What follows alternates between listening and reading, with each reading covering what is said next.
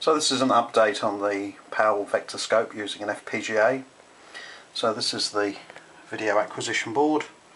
12-bit A to D and 14-bit D to A both running at 25 mega samples per second.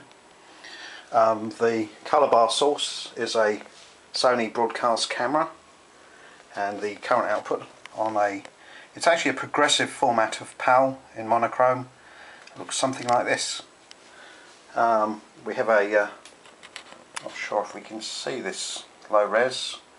Um, small user interface written for the NIOS 2 processor allows us to do various things to the display including let's just see if we can do this rotate. And then we can modify the uh, the chrominance gain and uh, for my money that doesn't look too far off where we're supposed to be. So the project continues